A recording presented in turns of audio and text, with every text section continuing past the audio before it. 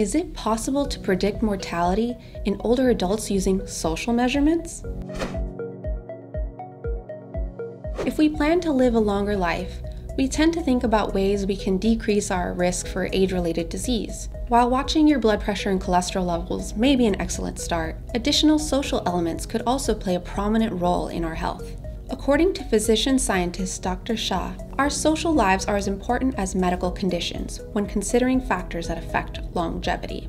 Shah and researchers published a comprehensive study in the Proceedings of the National Academy of Sciences, or PNAS, where they analyzed over 8,000 adults aged 65 and up. They applied machine learning algorithms to identify social predictors of death within four years. These predictors included living in an uncleanly neighborhood, having a low perception of financial control, seeing your children less than once a year, not being active with your children, not working for pay, not volunteering, feeling isolated, and being disrespected. From these predictors, they created a social frailty index, a 10 question survey that uses age, gender, and social characteristics to predict longevity. The test can be used in combination with standard medical care to ensure that a person's medical and social needs are met. The goal is always to maximize the health benefits for the individual. If you're interested in taking the Social Frailty Index,